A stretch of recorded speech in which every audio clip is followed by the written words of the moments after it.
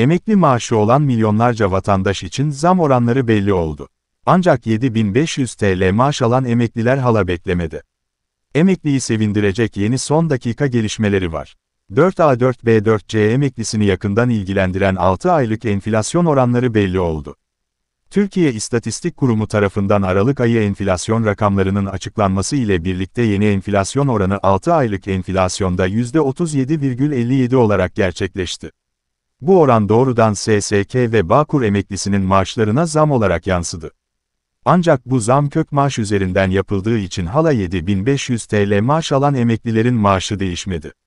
Milyonlarca emekli vatandaş şimdi hükümetten yeni bir açıklama beklentisi içinde nokta özellikle refah payı verilecek mi, en düşük emekli maaşı ne kadar olacak sorularının yanıtı merakla takip ediliyor. Emekli maaşı alan vatandaşları ilgilendiren yeni son dakika gelişmesi az önce duyuruldu. Hükümete yakın gazetecilerden Cem Küçük bu defa en düşük emekli maaşı zammı ile ilgili yeni tahminlerini açıkladı.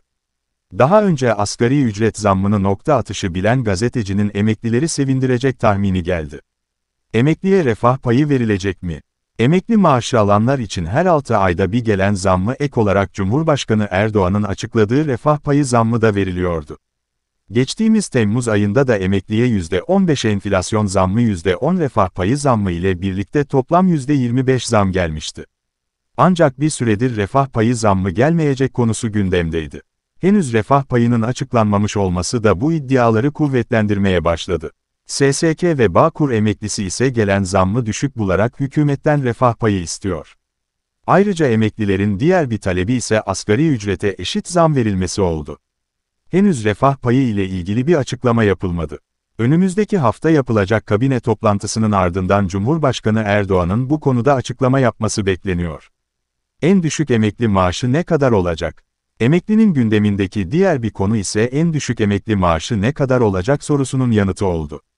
SSK ve Bağkur emeklisinin en düşük maaşı hala 7500 TL ve yeni bir rakam açıklanmadı. 2023 yılının başında 5500 TL olarak belirlenen en düşük emekli maaşı Cumhurbaşkanı Erdoğan'ın kararıyla Mart ayında 7500 TL'ye yükselmişti.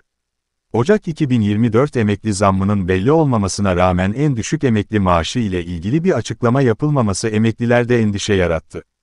Ancak iktidara yakın gazeteciler kabine toplantısının ardından 7500 TL olan en düşük emekli maaşının 11.000 TL olarak güncelleneceğini iddia ediyor.